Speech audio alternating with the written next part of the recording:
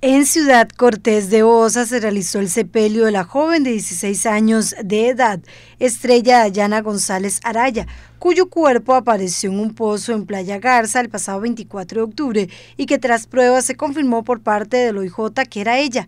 El hallazgo lo hizo el dueño de la finca que llegó a limpiar el pozo.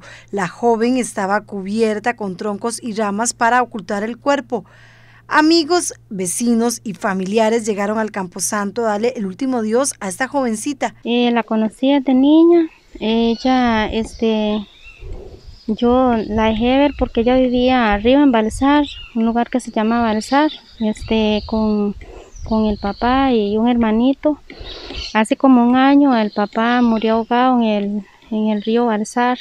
Su padrastro recuerda que la joven se mostraba nerviosa y con ganas de irse de Playa Garza el último día que la vio. Ella quería salir huyendo y yo le dije a esta, muchacha, a la mujer, digo, esta mujer anda en problemas, en serio. Pero yo le rogué, mami, contame, decime, ¿qué te pasa? Es que no estás bien, déjate ver que te estás... Me dice, no, no, no, man. Y después que pasó, dije yo, no, esta mujer no quiso meternos en el enredo.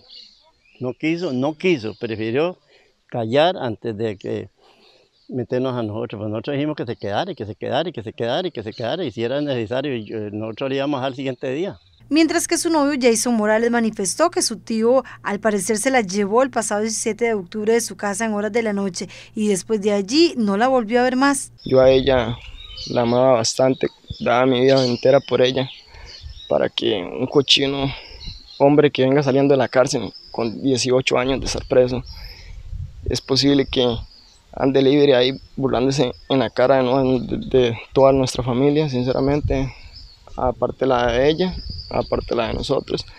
Siempre me conecto en el WhatsApp, siempre está en línea. La policía nunca los notifica, nunca lo detienen, nunca nada y de parte mía yo lo que pido es justicia. Varios vecinos se organizaron para que la madre de esta joven pueda vivir en una casa más digna junto a un hijo menor quien es especial. Y la señora doña Rita Benavides Rojas don Javier Barrantes, eh, don Sergio Liwon Yeyo y mi persona hemos estado ahí desde un principio, eh, nos unimos en esta causa para ayudar a esta señora tanto con el entierro bendito sea Dios, pues el ataúd eh, nos fue donado, un señor de Río Claro se fue a traer, el nicho también, bendito sea Dios también, y este Ahí hemos ido recogiendo por medio de la cuenta SIMPE de don Javier Barrantes, eh, gente que ha depositado económicamente para poderlos ayudar a ellos.